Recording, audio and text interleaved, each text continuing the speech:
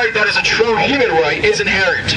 Such rights are not granted by government, they are not privileges bestowed by society or created by documents. Therefore, any such right cannot be regulated, limited, or revoked by any such power.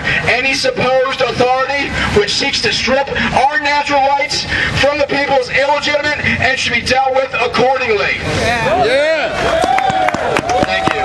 The only way that we can change course is by organizing a unified front. And this is what we got right here. This is a unified front outside the existing system. It's not about Democrats or Republicans. It's about Americans. And that's why we're all here today. Yeah! like I said, it's not about anybody. We must begin to start to say no. Say no. We must not and will not comply, right? Right. A great example of non-compliance is Rosa Parks. Rosa Parks did not comply. If our liberties are taken away, we must disobey unjust laws. Will you? Yeah.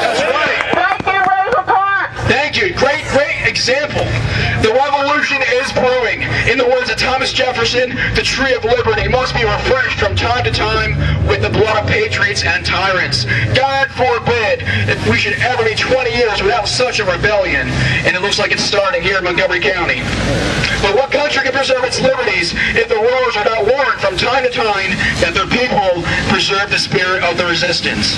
So, if they take away our guns and continue to shred our Constitution piece by piece, the Second American Revolution will be upon us. And I'm asking you to join us. Yeah.